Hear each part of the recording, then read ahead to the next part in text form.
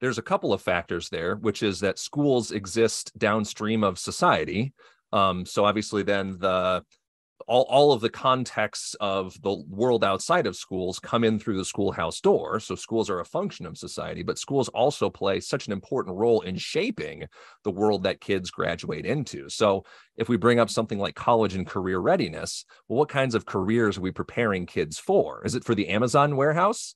Because that's a different kind of preparation, right? um, what does what does a democratic classroom what kind of function does does uh, the study of poetry serve right what does having autonomy and having student decision making in school look like it, as far as preparing kids for that amazon warehouse where they're not going to have autonomy where they're not going to right the, the poetry is not going to be built into that. So uh, this is where we try to reshape that college and career readiness question into asking like well what is it actually that is worth preparing students for about the world? And are we willing to build that better world alongside of them starting with schools and right um, so if if kids go out into the workforce um, and and they're they're going to demand more if they've experienced right a democratic classroom an autonomous one where they are respected and they have a say and they have a stake and they have all these things.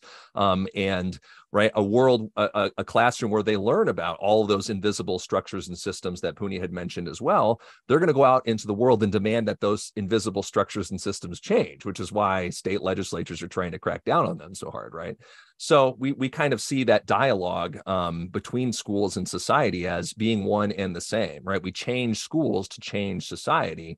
Um, I think the the again to come back to the politiza- politicization um, of education currently, it that is a case study in itself, right? Why else do they want to um, ban books and ban um, gender identity instruction and um, right, to, to ban the teaching of so called divisive topics unless it's to have some kind of downstream effect on what the rest of the, the, the uh, society looks like. And I would always push back on my own administrators and to say, you're telling me that you want to send kids to the University of Iowa without understanding the importance of uh, the Black Lives Matter movement of 2020 or the impact that, you know, the death of George Floyd had around the world. You're going to send them out to, to Kansas. You're going to send them to the Yeah, Kansas, nothing without... wrong with the Kansas. Okay, Nick, Kansas is, No, I'm saying in into spaces where people don't look and think and sound like you know, like like uh, uh, uh the av- the average uh,